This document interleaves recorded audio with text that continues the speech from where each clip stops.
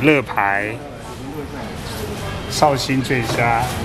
狮子头。立委罗志正说出一口好菜，统统都是过年的应景菜色。而他所介绍的这一些年菜，由他发起寒冬送暖正年菜、伏牛贺喜迎新春活动，联合了新北市小土狗志工协会、板桥东区福伦社等单位，为板桥深秋里、福秋里等二十七个里的弱势家户，准备了丰盛的年夜饭，让围炉的这一餐能够摆满应景年菜，迎接福牛到。这个活动咱已经办第五年啊，吼！啊，今年第一届吼来咱诶诶布局这个所在来举办，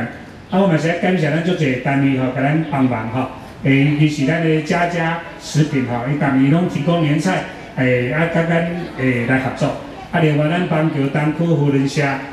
给咱。诶，这个都包括中华民国制面工会。啊，这个我们同时也准备了刚出炉的总统的联名的一元红包，要送给大家。赠送年菜，菜色丰富，再加上总统蔡英文的红包贺喜，福牛年送给弱势家户好兆头。而捐赠年财的地点选在地方邻里重要信仰中心深秋福德宫。当地里长陈连成也是庙方委员会委员之一，除了认同罗志正联合社团及企业的善心义举之外，更期盼举办多年的送暖活动能持续办理，造福弱势家户。委员，你感觉我这场所有好势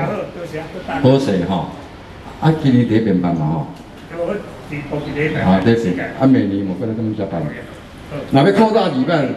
咱家场所足方便，啊，阮。庙方嘛，一定会全力配合，哦，啊，所以希望日后有这种机会，哦，给来做红顶。帮忙，这个帮忙。